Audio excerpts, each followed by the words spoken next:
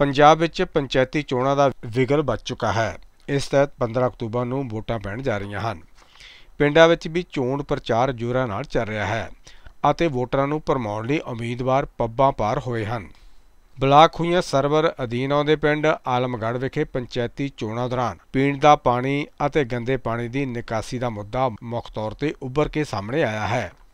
ਜਿਸ ਕਾਰਨ ਪਿੰਡ ਵਾਸੀਆਂ ਨੇ ਸਰਪੰਚੀ ਚੋਣਾਂ ਵਿੱਚ ਸਾਰੀਆਂ ਸਿਆਸੀ ਧਿਰਾਂ ਦੇ ਉਮੀਦਵਾਰਾਂ ਤੋਂ ਨਿਰਾਸ਼ ਹੁੰਦੇ ਹੋਏ ਲੰਬੇ ਸਮੇਂ ਤੋਂ ਪਿੰਡ ਵਿੱਚ ਵਿਕਾਸ ਕਾਰਜ ਨਾ ਹੋਣ ਦਾ ਰੋਣਾ ਰੋਇਆ ਹੈ।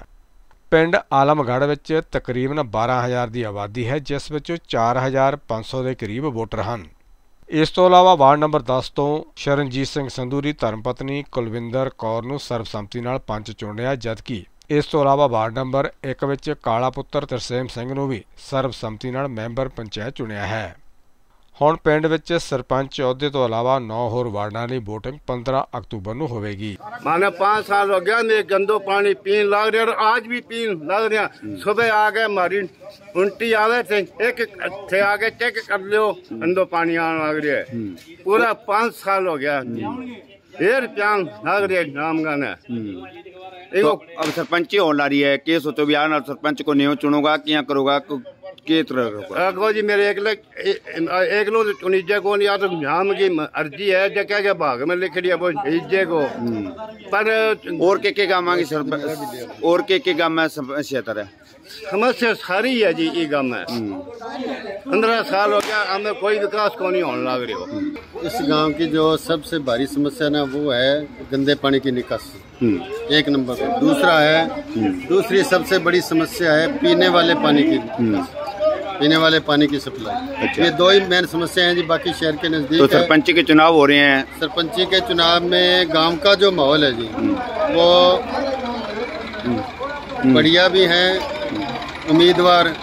लेकिन लगता है कि बढ़िया नहीं बनेंगे। ठीक है। अगर बन जाते हैं एक आधा बढ़िया है अगर वो बन गए तो कुछ हो सकता है बाकी कोई ईमानदार नहीं है ਬਹੁਤ ਖੁਸ਼ੀ ਦੀ ਗੱਲ ਹੈ ਕਿ ਸਾਰੇ ਮਹੱਲੇ ਵਾਲਿਆਂ ਨੇ ਬਹੁਤ ਵਧੀਆ ਸਹਿਯੋਗ ਦਿੱਤਾ ਤੇ ਸਹਿਮਤੀ ਨਾਲ ਮੈਂਬਰ ਬਣਾਇਆ ਤੇ ਆਉਣ ਵਾਲੇ ਸਮੇਂ 'ਚ ਅਸੀਂ ਬਹੁਤ ਵਧੀਆ ਵਿਕਾਸ ਮਹੱਲੇ ਦਾ ਕਰਾਂਗੇ ਜੋ ਵੀ ਹੋ ਸਕਿਆ ਵੱਧ ਤੋਂ ਵੱਧ ਕੋਸ਼ਿਸ਼ ਕਰਾਂਗੇ ਜੀ ਪਹਿਲ ਦੇ ਆਧਾਰ ਤੇ ਕਿਹੜਾ ਕੰਮ ਕਰੋਗੇ ਤੁਸੀਂ ਥੋੜਾ ਕਿਉਂਕਿ ਪੀਣ ਦਾ ਪਾਣੀ ਤੇ ਪਾਣੀ ਦੀ ਨਿਕਾਸੀ ਇਹ ਦੋ ਬਹੁਤ ਵੱਡੀਆਂ ਸਮੱਸਿਆਵਾਂ ਸਾਡੇ ਜੀ ਪਹਿਲਾਂ ਤਾਂ ਇਹਨਾਂ ਦਾ ਹੱਲ ਸਮੱਸਿਆਵਾਂ ਤਾਂ ਬਹੁਤ ਹੈ ਪਰ ਜਿੰਨਾ ਕੁ ਸਾਡਾ ਅਸੀਂ ਕਰ ਸਕਦੇ ਹਾਂ ਆਪਦੇ ਵਾਰਡ ਵਾਸਤੇ ਉਹਨਾਂ ਵੱਧ ਤੋਂ ਵੱਧ ਕਰਾਂਗੇ। ਠੀਕ ਹੈ। ਠੀਕ ਹੈ ਜੀ? ਪਹਿਲੀ ਸਮੱਸਿਆ ਤਾਂ ਇਹ ਸਾਡੀ ਪਾਣੀ ਪੀਣ ਯੋਗ ਤੇ ਜਿਹੜਾ ਪਾਣੀ ਦੀ ਨਿਕਾਸੀ।